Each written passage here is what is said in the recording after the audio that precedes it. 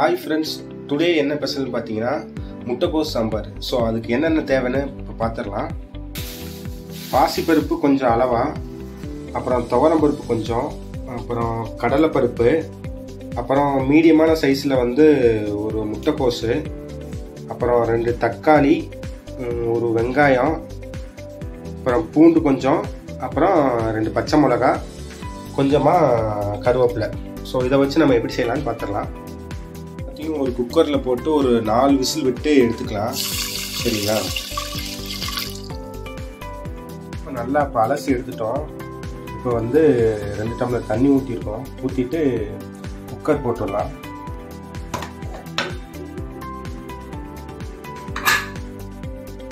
மாதிரி சின்ன சின்னதாக வெட்டி எடுத்துக்கலாம். ஸோ வெட்டி எடுத்துட்டு இதை ஒரு பாத்திரத்தில் போட்டு அலசி எடுத்துடலாம்.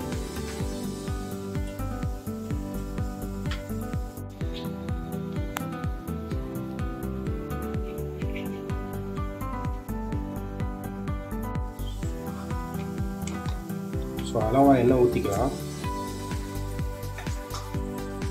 கடுகு உளுந்து போட்டுடலாம். ஆனியன் போட்டுக்கலாம்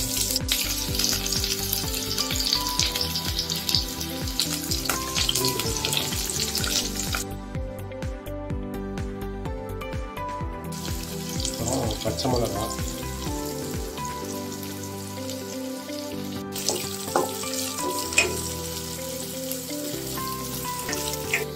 இப்போ தக்காளி போட்டுடலாம்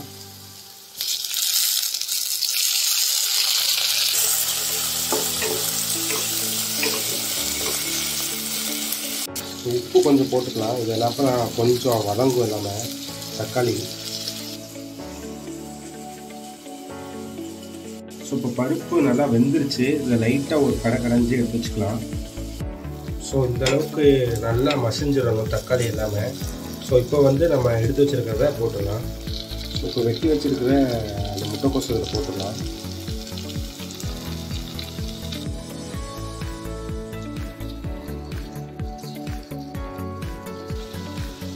தண்ணி கொஞ்சம் அளவாக ஊற்றிக்கலாம் வேகிறதுக்கு நீட்டாக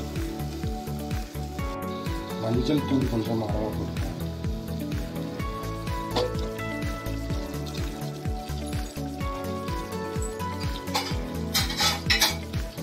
ஒரு டென் மினிட்ஸ் அப்படியே மூடி கொஞ்ச நேரம் வேக விட்டுருவாங்க பருப்பு வேக வச்சதில் சாம்பார் தூள் கொஞ்சமாக போட்டு கிளறி விட்டுக்கலாம்.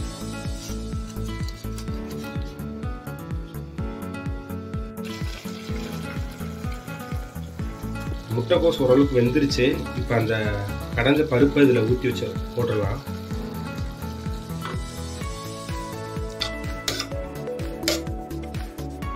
ஸோ ஒரு ஃபைவ் மினிட்ஸ் அப்படியே கொதிக்கட்டும். கொஞ்சம் பின்னாடி அப்படியே இறக்கிடலாம். ஸோ அளவாக கொஞ்சமான புளி எடுத்து வச்சுக்கோங்க. அதில் ஊற்றுறதுக்கு இப்போ கொஞ்சம் ஊறிடுச்சு. இதை வந்து கரைச்சி கொஞ்சம் ஊற்றிடலாம் ஸோ புளி இந்த அளவாக எடுத்தால் போதும். ஸோ புளி எதுக்கு ஊற்றுறோன்னா சீக்கிரம் கெடாது. அதுக்காக தான் புளி கரைச்சி ஊற்றுறோம் இப்போ சாம்பார் ரெடி ஆயிடுச்சு. இதை இறக்கிடலாம். ஸோ இப்போ டேஸ்டியான முட்டைக்கோஸ் சாம்பார் ரெடி ஆயிடுச்சு.